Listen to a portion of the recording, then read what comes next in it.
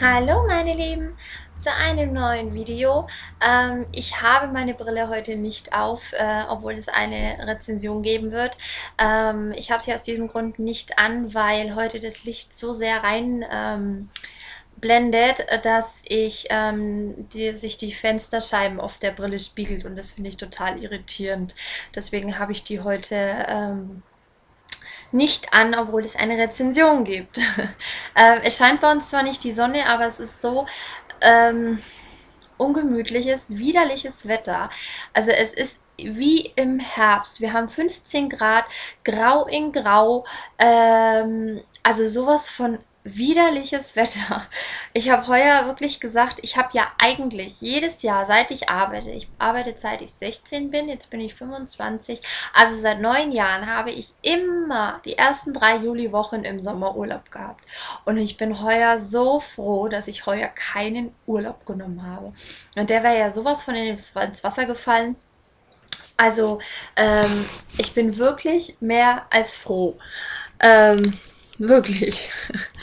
So, äh, um was geht es heute? Heute geht es um David Saphirs äh, Plötzlich Shakespeare.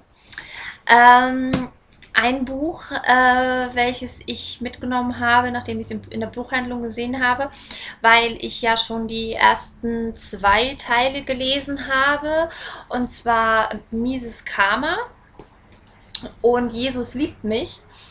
Ähm, beides unheimlich tolle Bücher. Ähm, ich muss vorweg sagen, ich bin ganz ehrlich, also ich habe bei dem miesen Karma am lautesten von allen gelacht. Ja, also es passiert nicht häufig, dass ich bei Büchern wirklich lache, laut lache. Ja, ich schmunzel vielleicht mal ein bisschen in mich rein oder so, aber es passiert bei Büchern nicht, dass ich laut lache. Äh, ist bei Miesen Karma sehr oft passiert. Äh, bei Jesus liebt mich, hm, weiß ich jetzt gar nicht mehr. Und bei Plötzlich Shakespeare ist auch mal zwei, drei Mal ein kleiner Lacher rausgekommen. So, kurze Anekdote um den Inhalt. Ähm, es geht um die liebeskranke Rosa und ihren Ex-Freund und dessen neue Freundin. Ich glaube, der Ex-Freund hieß Jan und die neue Freundin Olivia. Was für ein heißer Name. ähm, also zu Anfang des Buches äh, wird die Geschichte parallel erzählt von Rosa und ihren ganzen Problemen mit ihrem ähm, ähm, ja hier ja, ein Ex-Freund und sie will ihn ja eigentlich wieder und sie ist ja total verrückt nach ihm und versucht dann in einem ähm, leicht alkoholgeschwängerten Gedanken ihn wieder zurückzubekommen und geht in dessen ähm, Zahnarztpraxis und verursacht da ziemlich viel Chaos. Ähm, äh, ich muss sagen, Entschuldigung, dass da heute so viele Ams, Ams, Ams kommen, aber äh, die Leute, die mich bei Facebook äh, verfolgen, wissen, dass ich seit drei Tagen ein kleines äh, Katzenbaby daheim habe und habe jetzt seit drei Nächten irgendwie nicht länger als vier Stunden oder fünf Stunden geschlafen, aber nie am Stück. Also so muss es, glaube ich, mal sein, wenn man ein Kind hat. Ich lasse mir eindeutig noch Zeit. ähm, und deswegen sind meine Gedanken nicht ganz klar. aber nichtsdestotrotz ähm, es wird anfangs parallel die Geschichte von Rosa und äh, William Shakespeare erzählt. Äh, William ähm, hat ähm, zu Anfang des Buches ziemlich missgebaut und wird von einem ähm, äh, netten jungen Herrn verfolgt und äh, der ladet, er lädt ihn dann zum, zum Fechten ein, also zum Duellieren, so rum heißt es, zum Duellieren. Und ähm, als diese zwei Männer sich gerade duellieren, ähm, taucht äh, Rosa im Körper von ähm, William Shakespeare auf. Also es sind zwei Geist in einem Körper und das ist dann nun mal der Körper von William Shakespeare. So, äh, ihr fragt euch jetzt sicher, wie ist Rosa in das 1700 oder, oder wann war denn das? Oh, ich weiß es gar nicht, ich bin so schlecht in Geschichte. Also ihr wisst es ja. äh, reingekommen. Ja, das wird im Buch erklärt, das ist klar, aber ich möchte das jetzt gar nicht so sehr vorne wegnehmen, weil ich das eigentlich ganz lustig fand, das rauszufinden, schon so am Anfang, wie das äh, funktioniert hat. Ähm, wie gesagt, ich fand, also das soll jetzt mal grob so die Geschichte sein. Ich meine, klar, in der Geschichte wird dann halt äh, kommen sich halt Rosa und William in Gedanken näher und merken doch, oh, sie harmonieren ja eigentlich ganz gut. Ähm, und ähm, erleben dann viele Abenteuer miteinander, äh, dichten zusammen und ähm, ja. Und es gibt ein Happy End. Fand ich ja total bezaubernd. Also, ja.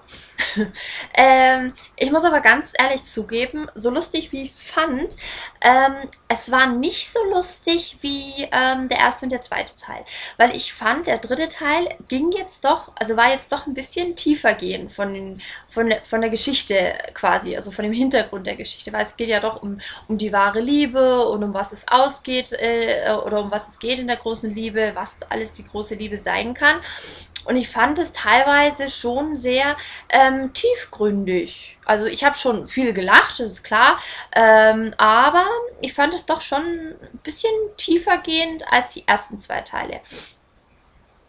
Und ich muss sagen, ich habe auch ein bisschen was gelernt. Also einfach, was man schätzen muss und dass nicht die wahre Liebe nur der Mann im Leben sein kann, sondern dass die wahre Liebe auch ganz andere ähm, Aspekte haben kann, weil es redet ja immer, man redet ja immer von der großen Liebe, aber ich finde, die gibt es auch bei den Eltern, naja gut, bei den Eltern nicht, aber bei Freunden oder, oder sowas.